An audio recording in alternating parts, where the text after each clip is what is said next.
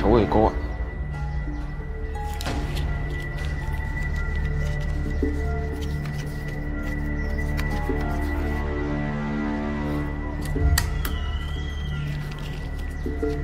Ngồi xuống.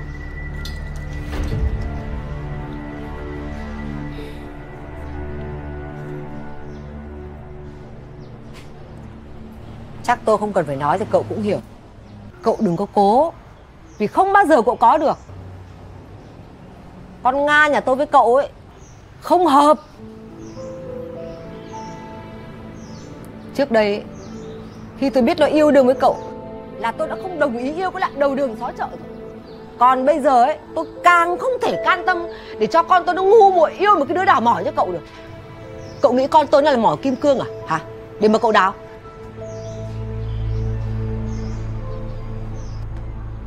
Cô ạ Cháu đúng là lớn lên Và sinh ra ở xó chợ thật. Nhưng cháu không phải là loại phá phách hay đào mỏ gì. Cháu nghĩ Không phải cứ nghèo là hư Là xấu tính đâu cô ạ. Đúng. Nghèo thì chưa chắc đã hư Nhưng nếu cái nghèo nó đeo bám con người ta lâu quá Thì đến lúc gặp điều kiện ấy, Nó cũng để lòng tham cũng đổ đốn. Cháu không phải người như cô nghĩ đâu ạ. Thế cậu vay tiền để làm gì? Hả Cậu với cả bố cậu đang ở cái xóm trọ. Tự nhiên lại ra ngoài ở. Thế thì cậu đi đâu? Tiền có đâu mà đi. Định đổi đời à? Tức là cậu gặp con gái tôi là có mục đích đúng không? Tôi biết ngay mà. Loại người như cậu ấy, Chỉ tìm con gái nhà lành, nhà có điều kiện Để mà đeo bám. Định làm chạn vương à? Cô, Nếu cô đến đây để nói chuyện tử tế Thì cháu sẽ nghe. Nhưng nếu cô đến đây Để dùng những lời lẽ xúc phạm với cháu như thế Cháu xin lỗi. Cháu không nghe được ạ. Cậu ngồi xuống.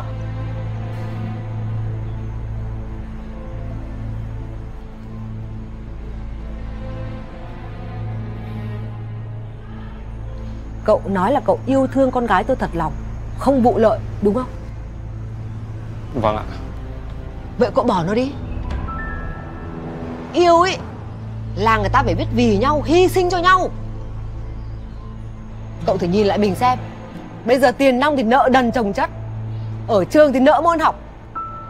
Cậu có tự tin khẳng định rằng Tất cả những cái điều xấu xa của cậu Không ảnh hưởng xấu đến con gái tôi không? Sao? Không trả lời được đúng không? Không tự tin đúng không? Thôi. Vấp ở đâu thì đứng lên ở đó. Chẳng có chi mà phải rúm gió ngại ngần cả. Từ đây nhá, Yêu đương ấy Ra sang một bên. Mình đàn ông con trai ấy Là phải lo cho sự nghiệp. Học hành cho nó tử tế vào. Đi kiếm tiền đi. Kiếm thật nhiều tiền vào. Còn những chuyện khác tính sau. Cô nói thế có hiểu không? Nếu mà hiểu ấy Thì tránh xa cái Nga nhà cô ra. Tiền này ấy, Cô cho. Cháu không nhận đâu ạ. Tùy cậu thôi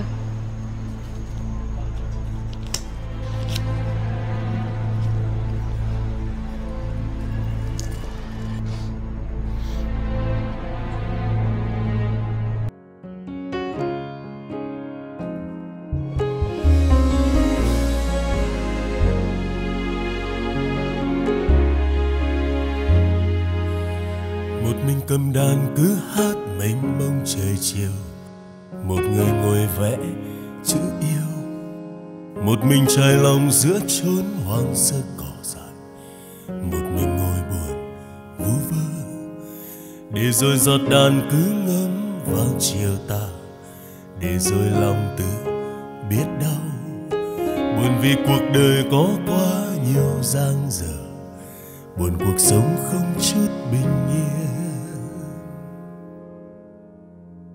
Chạy trốn bon chen ngày thường.